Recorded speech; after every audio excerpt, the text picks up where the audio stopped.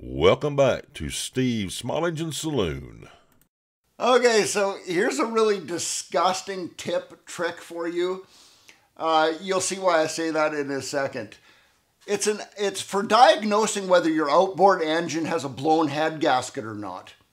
Okay, so first of all, you have to have an outboard engine.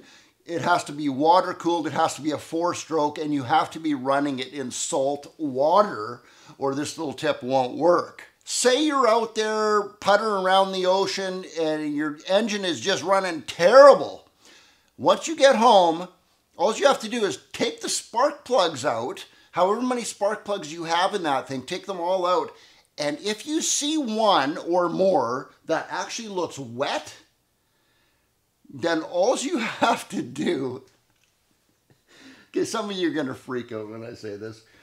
All you have to do is is just bang that the wet spark plug into the palm of your hand, bang it like that, and then you have to lick it.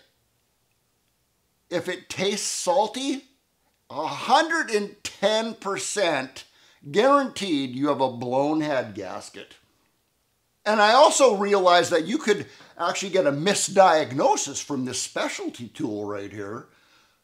Licking the salt off your hand, like naturally your hand's gonna be salty. So wash your hands maybe before you do that.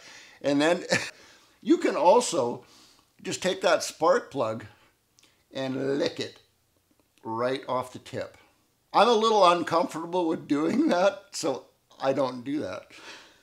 Just a little tip for you there. It's a great diagnosis for uh, understanding if your head gasket is blown on your outboard or not. And that's all I got to say about that, thank God. And uh, Steve out.